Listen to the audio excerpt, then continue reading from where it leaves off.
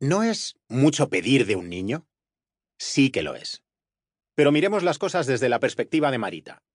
Para ella, esta escuela es un chollo. Sí, se levantará a las seis menos cuarto de la mañana, tendrá que ir también los sábados y hacer tareas hasta las once de la noche, pero a cambio, KIPP promete a estos niños atrapados en la pobreza una posibilidad de escaparse. Situará al 84% de ellos en el nivel de matemáticas exigible para su edad o por encima de él. Y gracias a estos rendimientos, el 90% de los estudiantes consigue becas para prestigiosos centros privados en vez de limitarse a los institutos de medio pelo que le corresponderían en el Bronx. Y en virtud de su experiencia en el instituto, más del 80% de los graduados de KIPP pasarán por la universidad, y en muchos casos serán los primeros de sus familias en hacerlo. ¿Cómo no va a ser un chollo? Todo lo que hemos aprendido en fuera de serie nos dice que el éxito sigue un curso predecible. No es el más brillante quien tiene éxito. Si así fuera, Chris Langan estaría ahí con Einstein.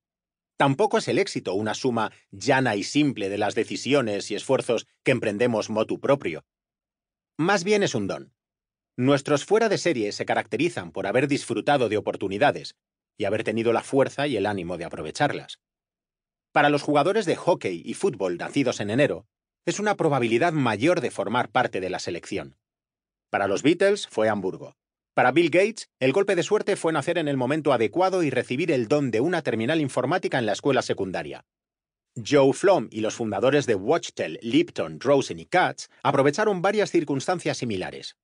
Nacieron en el tiempo adecuado, de padres adecuados y con la identidad étnica adecuada, lo que les permitió adquirir una valiosa experiencia en el derecho de adquisiciones, practicándolo durante 20 años antes de que se impusiera en el resto del mundo jurídico.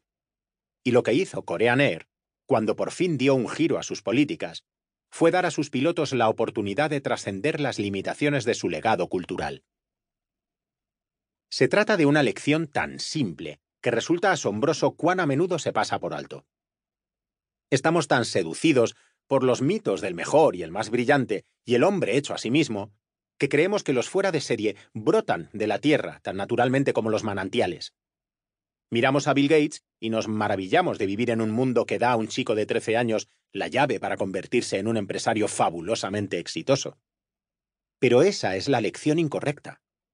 En 1968, solo había un chico de 13 años al que nuestro mundo permitió acceder ilimitadamente a una terminal a tiempo compartido.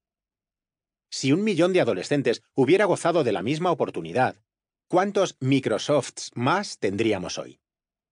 Para construir un mundo mejor, es preciso que sustituyamos el patrón de los golpes de suerte y las ventajas arbitrarias que hoy determinan el éxito, como la suerte en la fecha de nacimiento y los avatares afortunados de la vida, por una sociedad que ofrezca oportunidades a todos. Si Canadá tuviera una segunda liga de hockey para aquellos niños nacidos en la segunda mitad del año, tendría el doble de estrellas adultas del hockey. Ahora multiplíquese este súbito florecimiento de talentos por cada campo y profesión. El mundo podría ser mucho más rico que este con el que nos hemos conformado. Marita no necesita una nueva escuela con hectáreas de campos de deportes y otras flamantes instalaciones. No necesita un ordenador portátil, una clase con menos alumnos, un profesor con más doctorados ni un apartamento más grande. Tampoco necesita un CI más alto ni una mente tan rápida como la de Chris Langan. Todas esas cosas estarían muy bien, desde luego. Pero no van a lo importante. Marita solamente necesitaba una oportunidad. Y menuda oportunidad ha tenido. Se la dio alguien que llevó al sur del Bronx un poquito de la cultura del arrozal y le explicó el milagro del trabajo significativo.